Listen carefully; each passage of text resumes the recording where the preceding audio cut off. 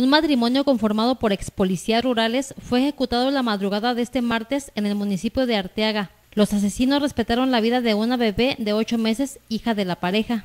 Los hechos se registraron a las 3 de la mañana cuando varios sujetos armados llegaron hasta la casa ubicada en la calle Malpaís, casi esquina con prolongación Allende de la colonia Castañeda, y dispararon en varias ocasiones en contra de la pareja integrada por Abraham Barragán Sánchez y su pareja de nombre María de los Ángeles Ruedas Mendoza, ambos de aproximadamente 30 años de edad. Sobre los hechos, se presume que los sujetos tocaron a la puerta y al abrir Abraham fue asesinado a unos metros de la entrada, mientras que la mujer fue ejecutada sobre la cama donde dormía, abrazada a su bebé, la cual fue localizada viva e ilesa entre los brazos de su madre. Se informó que la pareja fue integrante de los guardias rurales de Arteaga hasta hace algunos meses. Apenas el 27 de julio pasado, varios sujetos armados ingresaron al domicilio del también exintegrante de la Policía Rural de Arteaga, Antonio Sánchez Morales, de 65 años de edad, y tras sacarlo de la vivienda lo masacraron en plena calle. En esa ocasión, los hechores dejaron una cartulina en la que amenazaban a los guardias rurales y exintegrantes de las autodefensas.